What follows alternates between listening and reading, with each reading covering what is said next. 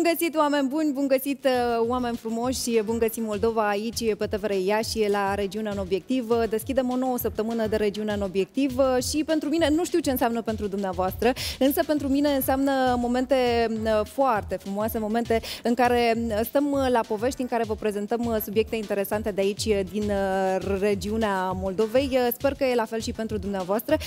Chiar ne puteți lăsa comentarii pe pagina noastră de Facebook, pe TVR Iași, cu sigla 20 6 și deschidem uh, o săptămână cu vreme capricioasă. Vremea aici la Iași ne joacă feste și vă mărturisesc că astăzi vă, vă, vă pregătisem o ediție de afară, de pe strada Lăpușneanu, cu soare, cu bă, distracție. Să știți că distracția rămâne la, la locul ei, însă soarele nu se arată nici astăzi pentru că a început să plouă acum, uh, cred că vreo 10, cu vreo 10 minute în, uh, în urmă. Vă propunem o ediție în care oaspeții noștri vin din alte orașe, vin aici în Iași să ne vorbim vorbească despre evenimentele pe care le pregătesc, fie că este vorba despre micii mari jurnaliști de la ziarul Baz, pe care uh, noi vi-am tot prezentat, pentru că sunt prietenii noștri și au, uh, au lucruri interesante de spus și de învățat de la cei uh, mai mari, dar fie, fie că vorbim și despre Street Delivery Bacău, cea de-a doua ediție a acestui eveniment atât de frumos, în care se blochează o stradă și toți oamenii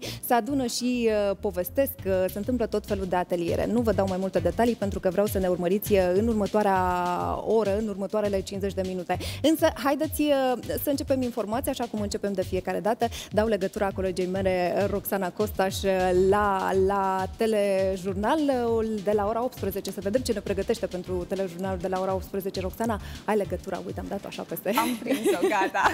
Sper că s-a văzut bine în cadru. Bună ziua, bun găsit tuturor. Sunt mai multe subiecte care astăzi ne-au atras atenția. În primul rând, după zeci de ani în care culturile au supraviețuit doar în funcție de ploi, agricultorii din Botoșani pot conta din nou pe sisteme de irigații. Ministrul Agriculturii Pătră Daia a inaugurat astăzi stația de pompare de la Stânca. Sistemul asigură irigarea a peste 3.000 de hectare din zonă. Fermierii au încheiat deja contracte pentru a primi apă în mod gratuit. Stația de irigare și canalele de la stânga au fost reabilitate cu fonduri de la guvern. Investiția se ridică la 748.000 de lei. Acesta este cel de-al doilea sistem de irigații din județul Botoșani, repus în funcțiune în mandatul lui Pătre Daia, după ce anul trecut a fost reabilitat sistemul din Ripiceni, Manoleasa. Fetița de 11 ani găsită de polițiștii locali legată de un stâlp în fața unui adăpost din cartoane fără uși și curent electric mai rămâne în spital și va fi transferată într-un centru special de îngrijire. În schimb, părinții spun că vor să o crească acasă și că sâmbătă ar fi fost singura dată când au legat-o, tocmai pentru a nu-și face rău singură. Revine în prim plan însă zona cu case improvizate, fără utilități și în care se adăpostesc sute de persoane, unele fără documente de identitate și cu probleme cu legea. Tatăl fetiței susține că sâmbătă a fost singura dată când fetița ar fi rămas singură acasă. Recunoaște că mama a plecat după apă la 400 de metri distanță și a legat copilul ca să nu plece singur din fața adăpostului și să se rănească. Singură dată că au plecat ea la apă și nu putea să o leșă. Ori se ducea în pădure, ori se ducea în șanțul ăsta și aia. Că nu știi, dacă nu poți vorbească din așa de bucșlea merge, să pleacă. În continuare trebuie să crezi copilul. N-am cum. Nu las copilul. Avem codințe la cu ce, țară. Cu ce, vă, cu, ce, cu ce vă descurcați? În ce trăiți? Mergem cu ziua pe, la blocuri, bă, angajați, nu angajați. Cărăm o luz, cărăm una alta, mai găsim o bucată de fier, mai găsim una alta, nu?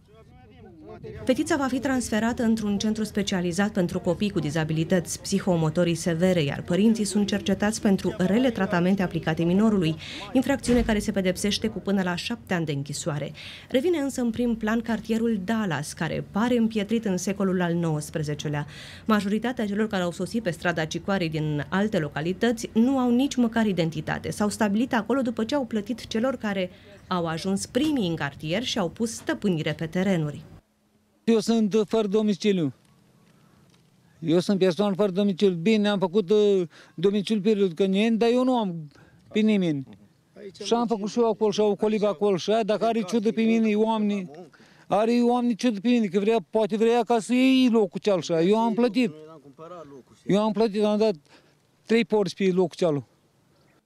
În urmă cu un an, municipalitatea anunța necesitatea unor programe de igienizare a zonei și de identificare a celor aproape 800 de persoane care locuiesc în zonă, dar totul a rămas la faza de proiect. Este obligatoriu ca persoanele care locuiesc în acest moment acolo să uh, putem să găsim soluții în acest fel încât să poată locui cu forme legale, asta pe de o parte, iar pe de altă parte să uh, identificăm cele mai bune soluții pentru a uh, face o infrastructură care, o infrastructură care să fie atractivă pentru, pentru, atât pentru locuitori cât și pentru investitori. Mai mult decât atât, știți foarte bine că în acest moment în licitație avem și construcția unui uh, canal de ape pluviale și tot așa, din discuțiile avute cu responsabilii companiilor de utilități, pentru a putea crea o rețea de utilități astfel încât cetățenii care locuiesc în zonă să poată beneficia atât de curent electric, de gaz, dar și de apă potabilă. Până acum este cert doar un proiect pentru construcția unui pod care să lege zona de restul orașului. De asemenea, se dorește sistematizarea întregii străzi și demolarea construcțiilor neautorizate. Atât pentru moment, dar ne revedem la ora 18 cu principalul jurnal al zilei. Legătura la tine, Anca. Da, uh, mulțumesc că am preluat uh, legătura uh, și, Roxana, eu te invit să mai rămâi alături de noi pentru că noua generație de jurnaliști, de jurnaliști încă mici, dar foarte bine pregătiți pe acest domeniu, vine puternic din spate. Vorbim de copii nu doar pasionați, de copii curioși, foarte bine informați, de copii responsabili care știu ce înseamnă să fii până la urmă formator de opinii. Sunt prietenii noștri, vi-am prezentat de multe ori, sunt jurnaliștii de la ziarul uh, Baz au venit din Botoșan să ne povestească ce peripeții și uh, ce planuri de viitor mai, uh, ce peripeții au făcut și ce planuri de viitor mai au și am să prezint să încep așa cu Anca Biciușcă, redactor Baz, um, cu Ioana Matfev, redactorul șef de la Baz și Ioana Crăiniciuc, redactor Baz. Bună ziua și bine ne revedem! Bună ziua! Uh, Ioana, n-am putut să nu uh, sesizez că ai un nume predestinat. Vei fi crainică, poate, într-o zi, dorești? Da, mi-ar place să merg pe așa ceva. De ce uh, nu? Sunt, așa cum spuneam, sunt copii foarte pasionați de ceea ce fac, altfel nu-mi imaginez de ce ai sta atâtea ore să citești ziare, să încerci să faci o știre, să mergi pe teren, să cunoști oameni. Așa este, sunt niște copii talentați, deosebiți, speciali și mai mult decât atât vreau să spun că ei ignoră, ca să spun, cred că ăsta e și termenul cel mai uh, bun, ignoră caniculă, ploaie, merg pe teren. Am, uh, noi în fiecare vară de 5 ani, iată, suntem la 5 ediție. Uh, avem un concursul de jurnalist pentru copii și adolescenți Botoșani, orașul meu drag, realizat în, cu finanțarea primăriei și a Consiliului Local Botoșani și copiii se împart pe echipe, fiecare echipe îi revine, până acum 3 ani revenea, până acum acum 2 ani, cam așa îi revenea uh, subiectul exact. De acum 2-3 anișori, uh, le, uh, fiecare echipă îi revine câte un citat și uh, echipa își alege subiectul pe care merge. Des... Am zis noi că e mai, uh, mai interesant așa să-i lăsăm să-și stoarcă... E mai interesant și chiar mai uh, provocator pentru, pentru voi, cei care mergeți în uh, teren. Despre uh, Botoșanul meu drag discutam și data trecută și de această dată vreau să știu care sunt citatele pe care, uh, care v-au picat de altfel și care sunt subiectele pentru care vă pregătiți? Eu o să spun doar atâta, că sunt uh, citate din uh, autori uh, foarte cunoscuți, ne-am dus și pe zona religiei, ne-am dus și pe da. zona culturii și pe... Dar zic Ioana, chiar Ioana a avut terenul chiar ieri, a avut terenul și nu întâmplător într-o zi de duminică. Ce ai făcut Ioana pe teren? Uh, am avut un citat uh, cu tenta religioasă, sfatul cel mai important în viață, iubește cu tot sufletul și iartă, de Arsene Papacioc și am fost la mai multe biserici de mai multe religii, unde am vorbit cu mai mulți preoți uh, să vedem vedem opiniile lor. Despre, despre diferite religii, nu? Da. Da, ce ar mai trebui Complex. spus uh, poate despre uh, concurs este că din această, dintr-o echipă face parte un lider, deci el trebuie să-și arate calitățile de lider, uh, partenerul, cel care e așa în drumul spre a fi lider și 1, 2, 3 juniori, anul ăsta fiecare, fiecare echipă are așa cam 2-3 juniori pentru că uh, se schimbă generația la baz, genera, se schimbă generațiile la bază și atunci uh, și numărul juniorilor sunt ceva mai mari, uh, mai mulți, numărul e mai mare, e mai așa, mare da. și atunci uh, nu știu, Ioana o are pe Mateia, care a fost data trecută aici, da. de la Suceava, o are pe încă, da, una dintre cele mai mici uh, bazărițe, care să, să spunem așa, și Marta Moraru, care e partener. Da. Uh, vom discuta și despre tine, Anca, și despre subiectul pe care uh, ți l-ai propus, pe care ți-a, care ți-a picat de altfel ție și echipei tale, însă nu pot să nu remarc că acești copii n-au emoții în fața camerelor. De obicei mă întâlnesc des cu, cu copiii, cu cei mici la emisiune și nu pot să nu observ că bă, sunt timorați, așa cum e normal, până și eu sunt timorată în fața camerei, dar mă uit la aceste splendori și manageriază foarte bine spre emoțiile, sunt emoții mea, constructive. Spre bucuria mea vin cu acel trac, pentru că majoritatea când văd camera se sperie, așa spun, wow, camera, și încep să se bulbe când ajung în fața da. camerei, dar ușor, ușor își dau seama că nu e chiar așa de bau-bau, ușor, ușor, dar mm, eu le spun din, întotdeauna că în fața camerei și atunci când apari uh, la televizor, la radio, dacă vrei să faci radio, totdeauna emoția trebuie să existe pentru că da, dar acel... e o altă emoție constructivă. Haideți să vedem chiar acum uh, copiii care n-au trac la cameră și apoi revenim să, să discutăm, uh, Anca, despre uh, citatul tău și despre echipa ta.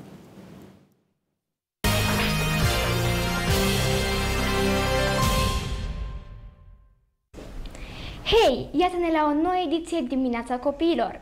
Nici n-a trecut mult timp de la ultima ediție, una specială. Da, da, acolo la căbănuțele de pe pietonalul Unirii, unde am învățat pe copii să fie moderatori pentru o zi. A fost un weekend grozav. Acum am revenit acasă, în studioul nostru. E adevărat, mult mai încăpător, căci știți, deja ne-am mutat și avem redacția noastră. Chiar mă bucur că acum putem face mult mai bine rubricile. Colegii noștri au mult mai mult spațiu să se desfășoare. Dar ai idee cu ce începem emisiunea? Normal! Doar suntem o parte importantă din redacția emisiunii Dimineața Copiilor. Ca de obicei, începem cu minutul de dicție. Știam eu și mai știu că rubrica e realizată în aceasta de Alesia. nu așa? Adevărat! Credeam că iar a venit nepregătit. Haide să o urmărim pe Alesia. Hai, luăm încă o dată de la, după minutul de ediție de, de acolo, da? Hai tu! Doar fiindcă să... nu am putut să mai obțin. Da. Hai, două, trei, acțiune.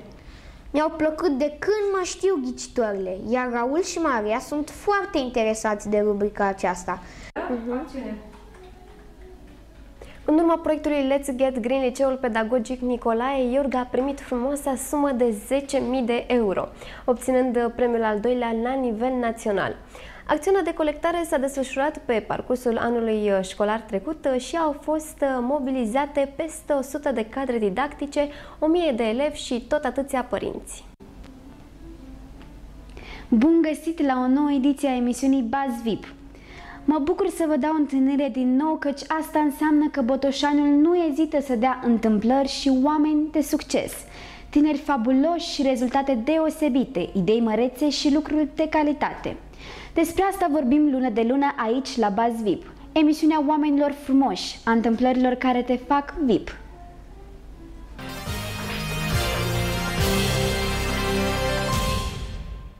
Nu puteți să spuneți că nu sunt uh, simpatici copiii de la ziarul Baz, de la Telebaz, pentru că am văzut uh, chiar acum uh, niște imagini de la înregistrări, nu?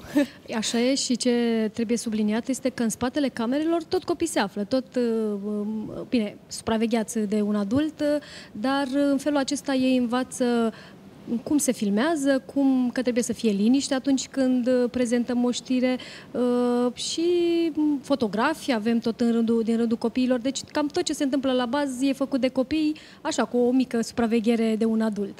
Anca, mi erai datoră cu uh, citatul tău. Uh, viața poate, trăit, uh, poate fi trăită oriunde, decorul nu are nicio importanță, intensitatea este puternică. Și care e subiectul pe care l-ați ales, uh, pentru care veți filma sau ați filmat deja? Am fost prima echipă care a dat startul anul acesta la concursul Botoșane Orașul meu drag, ediția 5-a.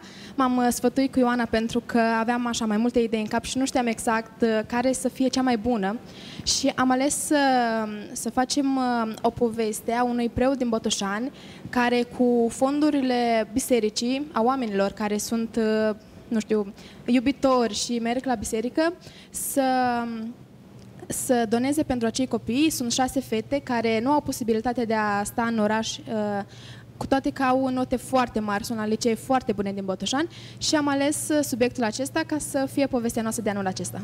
Ce frumos! Subiecte bine alese și uh, greu de realizat, pentru că nu e ușor uh, să, să discuți despre copii, uh, copii cu nevoi speciale, despre copii ambițioși, despre religie, despre biserică. E adevărat și un alt subiect care mie acum îmi vine în minte e a unui singurului băiat, ca să spun așa, puțin, printre puținii băieți de la bază, ca să spun așa, mai mari, vrea să meargă pe ideea de unirea Basarabiei cu, cu România. Iarăși un subiect mi se pare foarte foarte greu. Unde trebuie să documentezi da, foarte și, mult. Exact, și va, va trebui să aibă grijă și la emoție și e, e greu, dar să vedem. Vedem la, la sfârșitul lunii august ce iese, pentru că ei în perioada, de, în perioada iulie august, începutul lui august, au partea de teren, după care intră la montaj, apropo, tot ei fac montajul, da. evident, supravegheați de un adult și spre finalul lunii august, începutul lunii septembrie, ne premiem, că trebuie să ne și premiem. Însă tot în august aveți și o tabără, o tabără de jurnalism.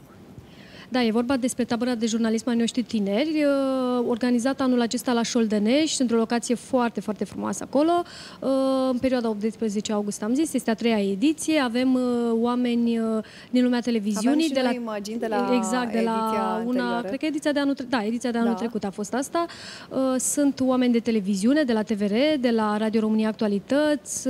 Îl avem pe Doru Ionescu, jurnalist în domeniul muzicii, o avem pe Larisa Avram de la TVR, pe Claudia Nicolau, actriță, pe Camelia Banța de la radio, iată oameni foarte, foarte mari și profesioniști de la care copiii au de învățat, uh, facem uh, mini-studiouri acolo și învățăm să citim. Chiar anul trecut am făcut pentru prima dată o scenetă pe baza unui, bine, anul trecut a fost pe scenariu unuia dintre trainer a, a Larisei da. și anul acesta una dintre colegele noastre, Paula Ifrim de 16 ani vrea să scrie scenariul unei, unui uh, scurt metraj și să vedem ce iese. Adică cu copiii, cei care, actorii, uh, vor fi chiar copiii de la bază. Anca, tu ai mai participat uh, la, la o ediție. Cum a fost? Care e atmosfera? Ce se întâmplă? Am participat la două ediții. La două, că asta e a treia, da? da? emoții, bucurie și, în primul rând, ai lucruri foarte multe de învățat de la oameni foarte mari și cred că asta e esențială, mai ales că, nu știu, mergi să te distrezi, să zicem, dar în primul și în primul rând mergem să învățăm ceva ce vrem să facem pe mai departe. Iar Anca, pentru care emoții acum și nu și-a adus aminte, este organizatorul concursului de Miss în tabără, deci ea se ocupă de concursul de Miss, e deja la a treia ediție, anul acesta va organiza, având în vedere locația puțin rustică de acolo, va face Miss Fata de la țară. Fetele vor trebui să taie, să curețe cartofi, să...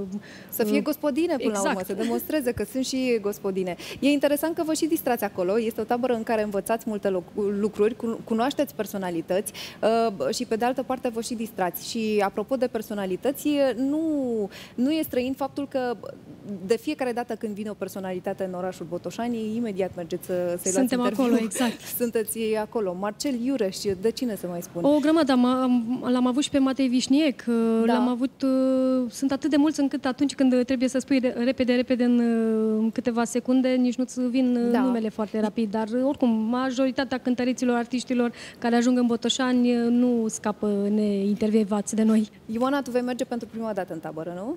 Anul da, acesta. este prima dată anul acesta. Și la ce te aștepți? Ce vrei să se întâmple de acolo? Cu ce vrei să te întorci? În primul rând vreau să mă întorc foarte multe cunoștințe, pentru că mă duc să învăț. Uh, vreau să mă întorc cu o legătură mult mai puternică alături de colegii mei, pentru că eu sunt în primul an la bază. Uh, da, multe, multă bucurie aștept, multă fericire. Uh, n-ai să fii timorată că te întâlnești cu oameni pe care îi vezi la televizor, așa?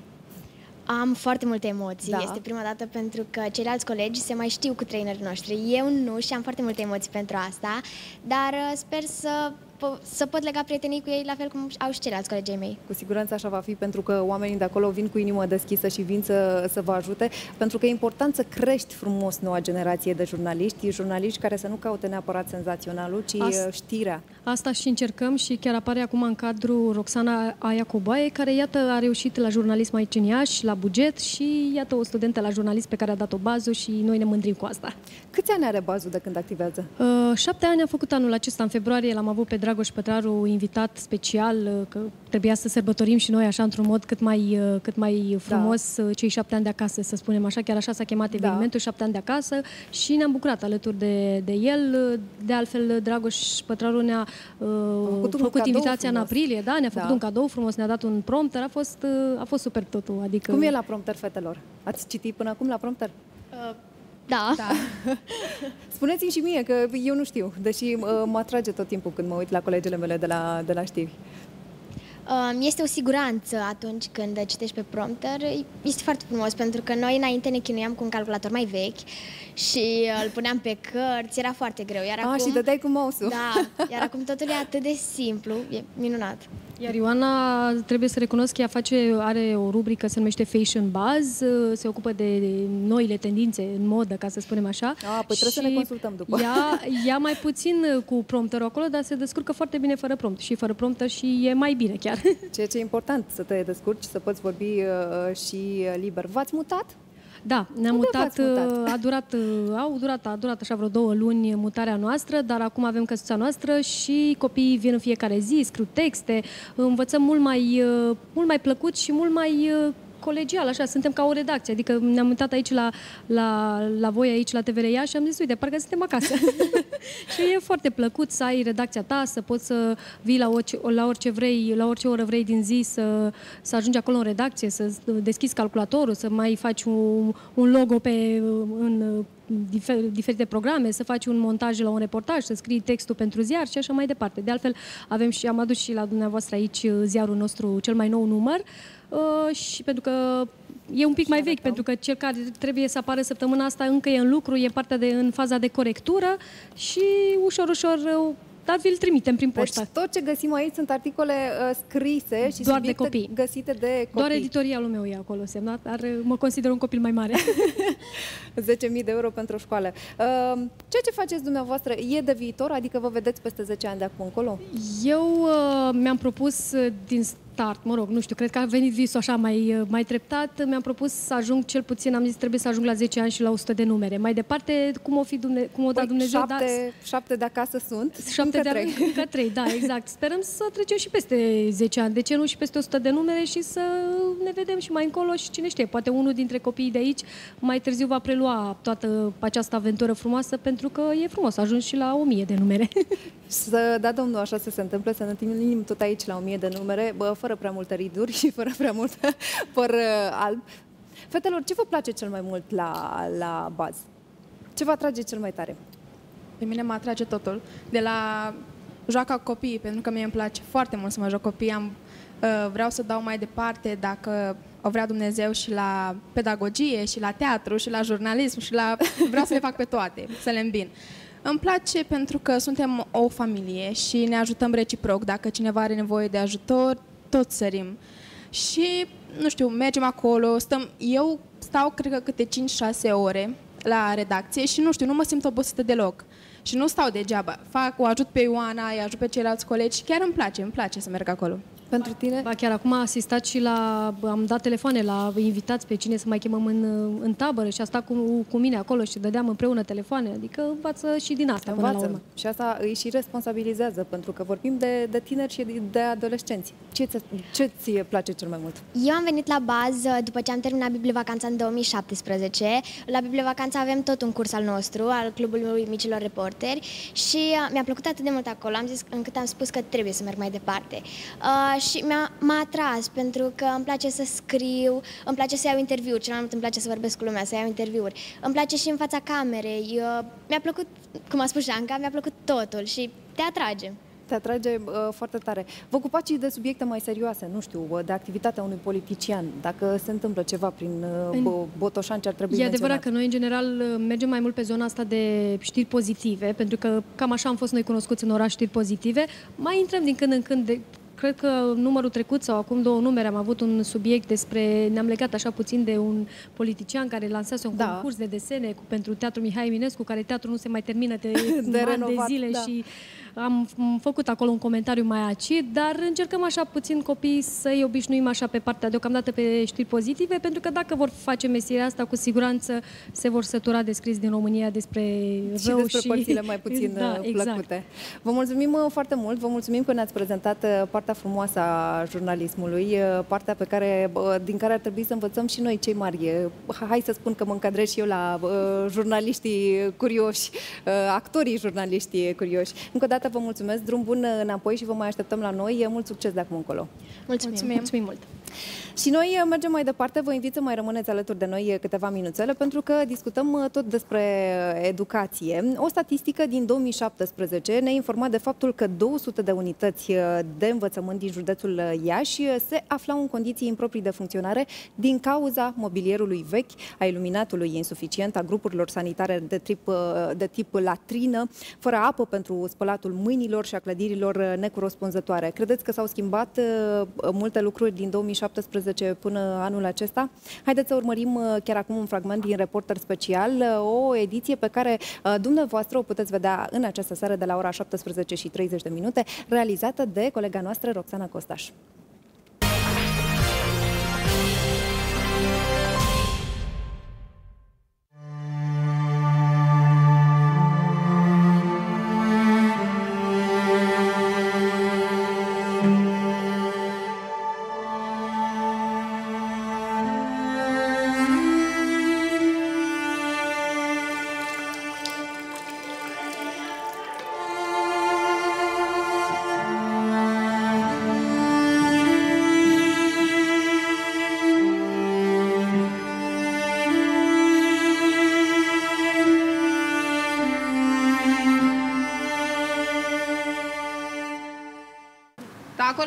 Acolo la toalete e prea mizerie. Da, știu. De asta... Nu este vina mea. Nu este vina mea. Din cauza asta nici merg ca să nu cad acolo, în mizerile alea. E riscant să cadă. Da, da, da. Ei, smit, este grădiniță. Nu vreau să apară pe TVR1 școala Mironu. Chiar nu vreau. Care e motivul? Nu înțeleg. Dacă filmați acolo, eu îmi dau demisia mâine. Ce a fost aici, doamnă? Un fost magazin sătesc. Din 2011, din 2006 funcționăm aici cu a, și structură, cu un număr de 81 de copii. Ce îi lipsește?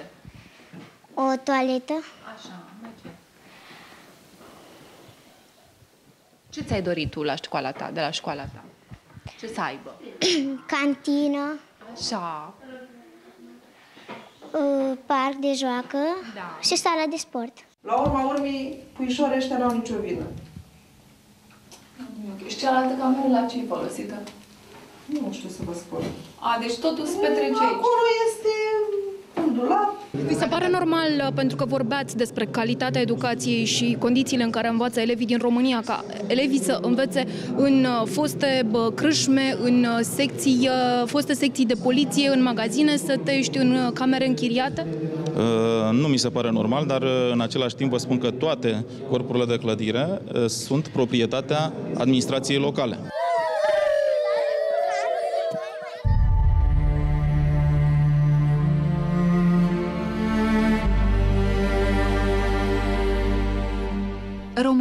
Țara învățământului gratuit și a egalității de șanse, clișee făcute doar pentru a întări contrariul, iar realitatea te izbește mai ales în mediul rural. Copii care învață carte în magazine sătești, în baruri sau camere închiriate, școli reabilitate de mântuială sau care stau închise din cauza dezinteresului autorităților locale. Toate arată că învățământul românesc nu oferă în niciun caz condiții egale. Dar nu este permis să filmați în școală fără aprobarea conducătorului unității. Vă- El vă Dar aprobă, dacă școala faceți era treaba bună asta. și frumoasă, mă lăsați, nu? Dar nu e problema de frumoasă sau de urâtă. Dar care e problema? Respectăm niște reguli. Învață carte în condiții greu de imaginat, cu un program ce amintește de fostele fabrici comuniste. Vin la școală în trei schimburi, de dimineață până la apus. Este vorba despre cei peste 300 de elevi ai școlii din satul Mironu, județul Suceava. De la cât se fac ore aici? De la 11 jumate. Până când? Până la 3. Și după aia vine a treia tură? Da. Nu, de dimineața până la 11 și de la 11 la până la 2. Și de la 2 până la 6. Toată ziua e școală aici? Da. S-a ajuns în această situație pentru că unitatea de învățământ are doar 5 săli pentru toți copiii de școală și grădiniță. Școala a fost construită la sfârșitul anilor 1800 și stă să se dărâme. Între timp, o nouă unitate de învățământ, ridicată în aceeași curte, are lacătul pe ușă de 2 ani. Și asta pentru că autoritățile locale susțin că nu au bani să racordeze unitatea de învățământ la utilități. Școala din localitatea suceveană Mironu, veche de peste 100 de ani, stă pe butuci la propriu. Din interior se vede afară. Instalația electrică este distrusă, iar de toalete funcționale sau măcar decente nici nu poate fi vorba. La 5 metri de școala veche, o nouă unitate de învățământ a fost ridicată cu bani europeni. Zace nefolosită de mai bine de 2 ani, pentru că primarul susține că nu are banii necesari pentru racordarea la utilități. Între timp, copiii așteaptă vremuri mai bune, părinții la fel.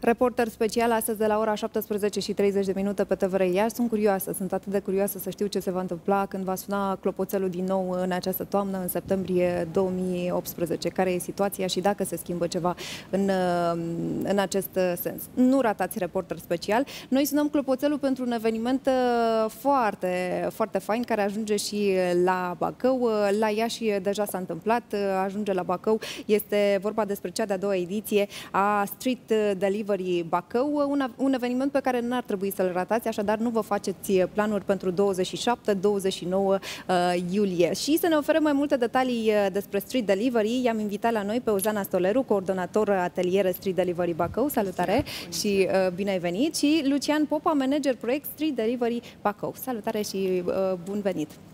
Bun bună, găsit! Bună ziua și mulțumim pentru invitație. În primul rând vreau să știu ce e street delivery, adică eu știu, dar uh, să aflăm cu toții. Uh, street Delivery este un eveniment uh, național, Da. uh, manifest uh, educațional, fondat acum 12 ani de Fundația Cărturești împreună cu Ordinul Arhitecților din România. Uh, un eveniment prin care ne propunem să ne recuperăm străzile noi ca, ca oameni, uh, în fiecare an abordând uh, teme diferite, teme care uh, exclamă o nevoie, o problemă a comunității în care trăim. Și efectiv cum ne recuperăm uh, strada? Simplu, închidem strada pentru mașini și o deschidem pentru oameni, o oferim oamenilor timp de trei zile, uh, timp în care ei se pot exprima uh, prin diferite proiecte, ateliere, uh, prin a asculta muzică, uitându-se la filme, nu știu, street art, uh, tot felul de activități. Uh, Da, recunosc că eu m- m-am întâlnit prima dată cu acest concept de street delivery în urmă cu trei ani, chiar aici în Iași, și m-a fascinat efectiv cum o stradă pur și simplu prinde culoare, uh, cum poți să te plimbi pe stradă fără să te gândești că trec mașinile pe acolo, cum poți să te întâlnești cu comunitatea uh, până la urmă și să împărtășești uh, idei și nu doar uh, idei, pentru că se întâmplă o mulțime de, de evenimente pentru toate gusturile, uh, fie că vorbim de cei mici, fie că vorbim de cei mari sau de cei cu mai multă experiență. Fiecare are uh, loc uh, acolo. Uh, vreau să discutăm și despre teme și despre ce v-ați propus să, să faceți la Street Delivery anul acesta, nu însă înainte de a-mi povesti cum a fost primită prima ediție. E atât de important. Wow. Da, prima ediție a luat naștere odată cu anul în care Bacău a fost capitala internetului din România. Uh, un proiect coordonat și implementat de Federația Tinerilor din Bacău. Iar Street Delivery a venit ca o dorință a noastră, a organizatorilor, a, uh, pentru a oferi ceva comunității. Uh, evenimentul a fost uh, îmbrățișat de absolut uh, toți participanții și uh, și-au dorit foarte mult ca noi să continuăm.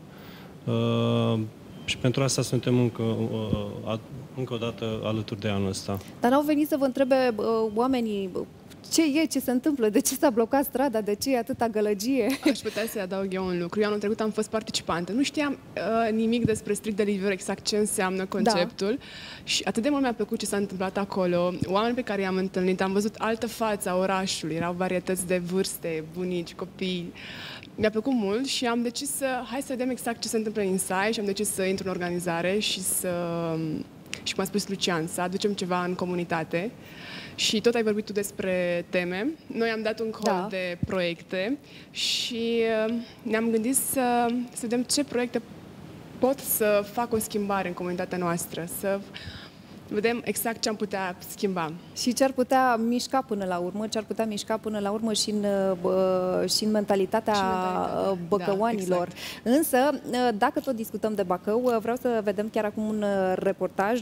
Centrul de Cultură George Apostu a deschis cea de-a doua ediție a programului internațional de rezidențe artistice de sculptură Albastru, ce se desfășoară până pe data de 27 iulie, cu participarea unor sculptori români și străini. Urmărim chiar acum un reportaj realizat de Vasile Arhire și revenim să continuăm discuția noastră despre street delivery.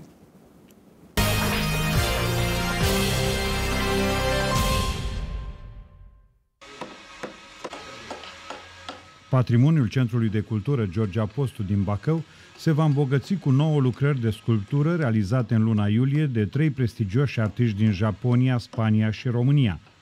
În cadrul programului internațional de rezidențe artistice de sculptură intitulat Albastru, fiecare dintre aceștia vor crea câte trei sculpturi în lemn până la sfârșitul lunii. Lucrările vor fi expuse în parcul centrului, care este un adevărat muzeu în aer liber, unic în România. Japonezul Yoshino Gata a studiat la Londra și din 1971 s-a stabilit în Italia, la Carrara, unde a cunoscut lumea marmurei. A expus în diferite țări din lume în peregrinările sale, cunoscându-l și pe George Apostu. Fiind da giovane, la facevo cioè, partecipando Am participat la multe simpozioane de sculptură în numeroase țări. Sunt interesat în special de România pentru că este țara lui Brâncuș. Mă aflu pentru a patra oară aici. De două ori am fost la Timișoara și apoi la Târgu Jiu. Eu respect țara dumneavoastră pentru cultura ei și pentru sculptură în mod special. În timp am cunoscut mulți artiști români între care și pe George Apostu. Estoy muy feliz de estar en România. Sunt foarte bucuros că am venit în România, unde mă aflu pentru prima dată. Nu este greu să realizăm trei lucrări în câteva săptămâni.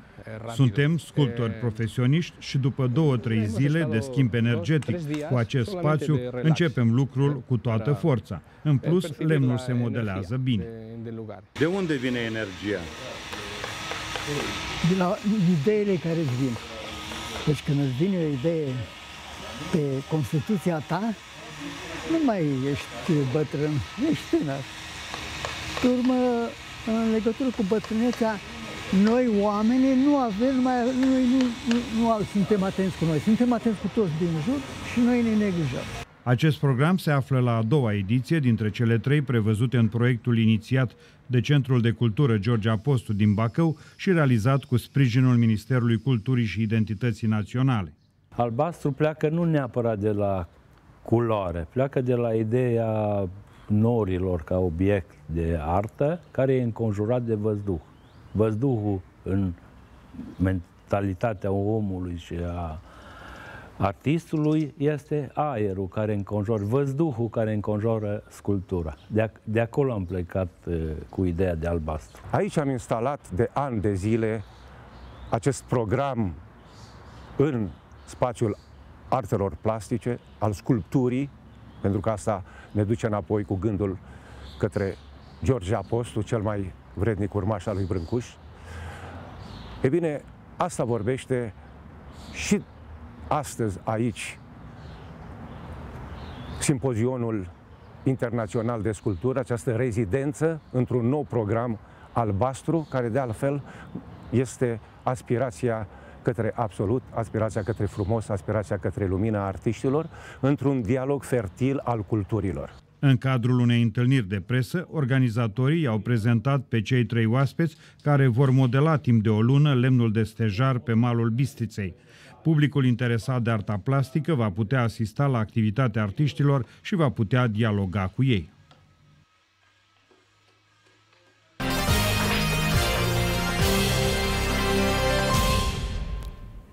Despre rezidența artistică de sculptură albastru vom mai discuta. Vom avea chiar invitații aici în platou joi, așadar vă propun să ne urmăriți de la ora 16 la regiunea în obiectiv, de luni până vineri, că avem subiecte interesante. Însă noi ne continuăm discuția despre cea de-a doua ediție a Street Delivery Bacău și mă erați dator cu tema de anul acesta. Ce v-ați propus să faceți?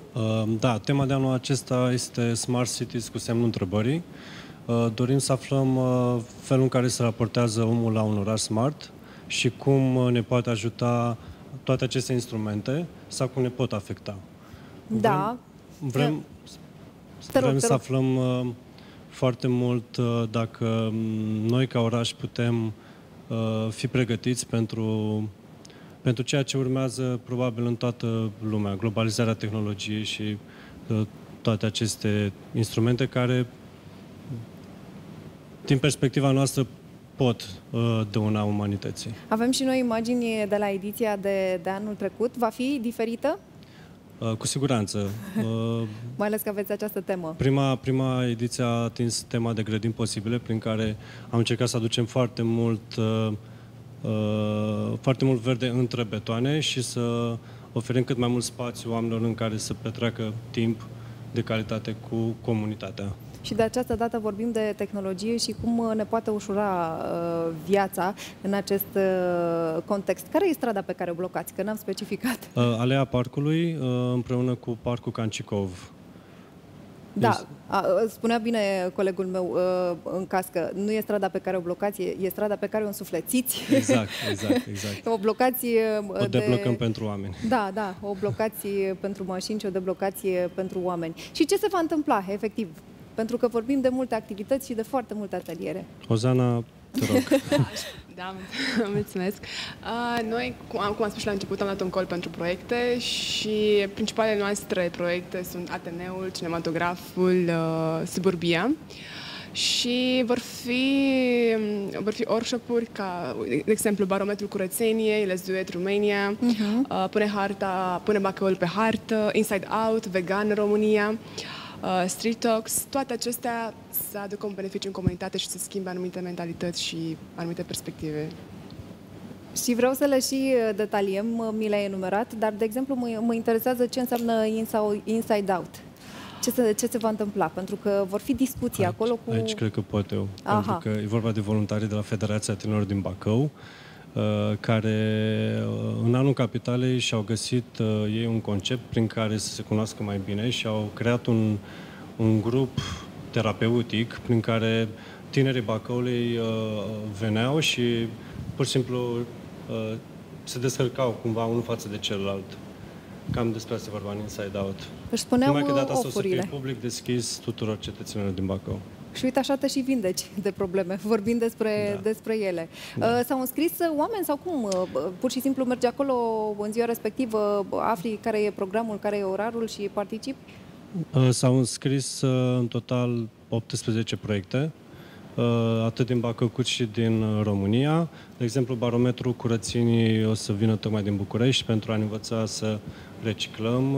Vor face workshop-uri, ateliere cu cu participanții uh, în vederea ecologizării.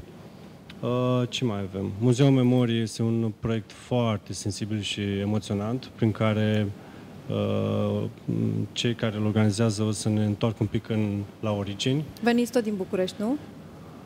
Cei uh, uh, ce au legătură cu Muzeul Memoriei. Muzeul Memoriei tot din da. București, da. da Știu da. că este o actriță care se ocupă de acest proiect, a fost și în ea și e, e vorba despre Catrinel uh, Bejenariu, o actriță uh, foarte, foarte bună și o voce foarte bună. Exact, da. Vegan în România despre cum, a, despre cum să respectăm animalele și să trăim mai sănătos. Pune Bacău pe hartă este un proiect al Asociației Râi Mândă, prin care încercăm să identificăm principalele probleme ale județului și cum putem să, să corectăm da. uh, prin instrumente cât mai smart, dacă tot trăim într-un oraș. Ozana, tu ești coordonatorul uh, acestor uh, ateliere. Uh, e greu să organizezi, e, e ușor? Cum, cum a fost pentru tine? Dacă ai primit un răspuns pozitiv din partea autorităților, mai ales că a fost o săptămână grea, fără apă. fără apă, apă. Am depășit episodul acesta fără apă. Acum Bine. suntem, Aveți apă? Sunt, da, avem apă, suntem Bine. în regulă. Doamne ajută. Da, și nu, suntem de în la, regulă. nu, nu, din, nu din cauza sau datorită ploii. Uh, noi când ne-am gândit la în ceea ce privesc atelierele, am luat în considerare puțin și probleme cu care ne confruntăm și să vedem. Prin atelierele acestea am încercat uh, să rezolvăm ceea ce se întâmplă în comunitate și sprijin comunității le-am, av- l-am avut. Um, și uh, nu Ți-a știu, fost acum- greu, ți-a fost ușor, autoritățile au fost de partea voastră, au venit în Aici, ajutorul sincer, vostru. Lucian s-a v-au- ocupat mai mult de partea asta de, Da. de acte și ceea ce privește autoritatea. Din fericire, autoritățile din Bacău înțeleg foarte bine evenimentul și, uh, și în anul acesta o să-l financeze, respectiv Consiliul Județean uh, Bacău și Primăria Municipiului Bacău sunt lângă noi și ne oferă toată infrastructura, tot suportul pentru ca evenimentul să, să ia parte. Tot în acest eveniment, de exemplu, Primăria Municipiului Bacău o să-și prezinte planul de dezvoltare urbană a Municipiului Bacău, un proiect pe patru ani de zile prin care se încearcă introducerea de piste de biciclete, transport în comun eficient, uh, toate aceste mijloace uh, care să vină în ajutorul cetățeanului.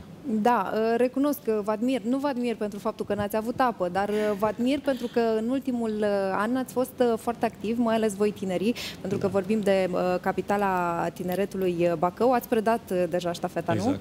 Da, am predat-o către Baia Mare, de care se bucură acum cu, cu, cu toată energia lor.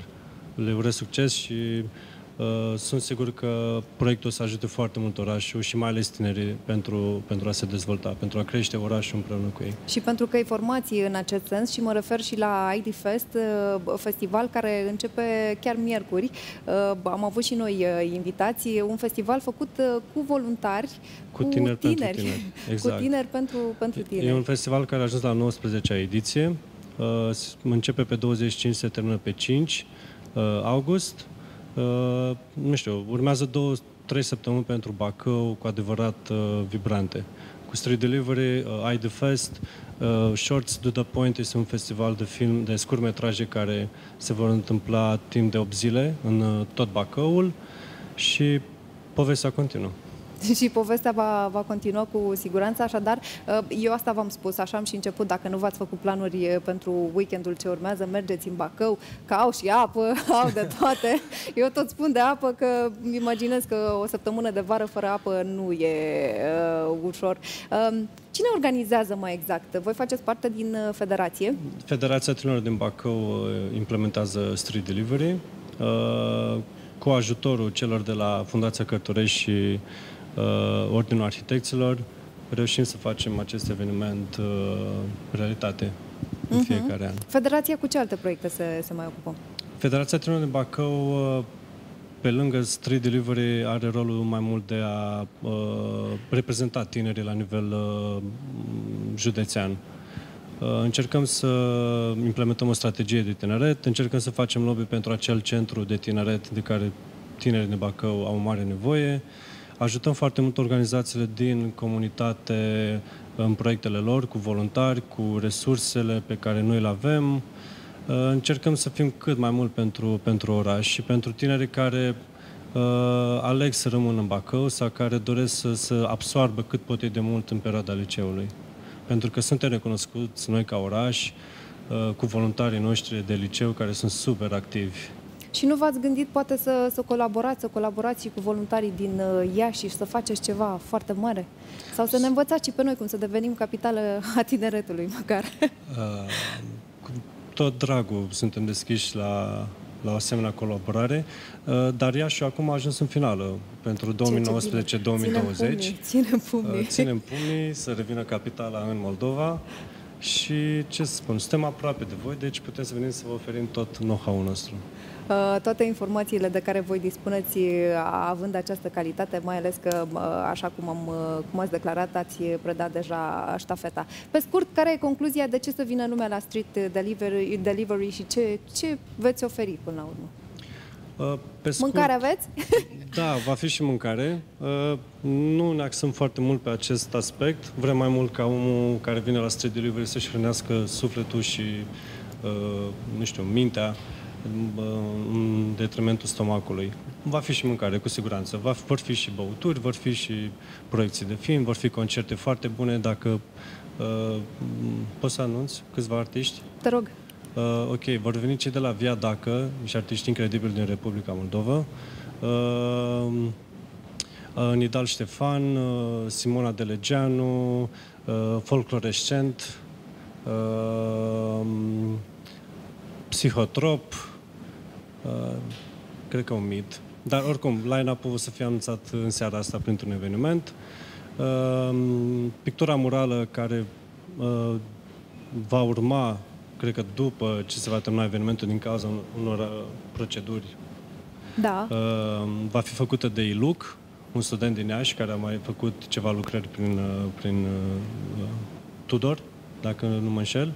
Și să sperăm că și vremea va fi bună și va ține cu voi dacă nu sunt anunțate ploi. Sunt? Atâta timp cât oamenii s-au putut distra la Electric Castle, de ce nu s-a distrat și la uh, Street Delivery Bacău? Păi, adică... să puneți la intrare acolo, să puneți ciubote și, ciubotele speciale și uh, pelerina de ploaie. Uh, te mai implici și în următoarea ediție, Ozana?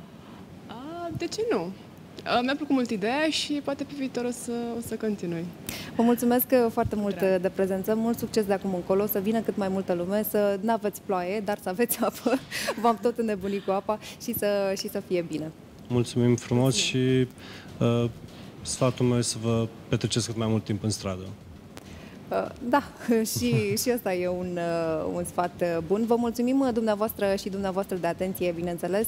Ne luăm rămas bun aici, însă mâine de la 16 suntem din nou prezenți alături de dumneavoastră într-o altă ediție, într-o ediție în care ne aducem aminte poate chiar de revelioanele alea din trecut în care ascultam Mirabela Dauer, Dan Spotaru, avem subiecte interesante, însă până atunci nu ratați astăzi de la ora 17 telejurnalul colegilor noștri de la TVR3 și și de la ora 18 vă întâlniți cu Roxana Costaș în uh, telejurnalul uh, de regional de aici, de pe TVR Iași și între de la 17.30 aveți reporter special. Toate cele bune, v-am pupat, ne vedem mâine, să aveți o săptămână minunată și productivă!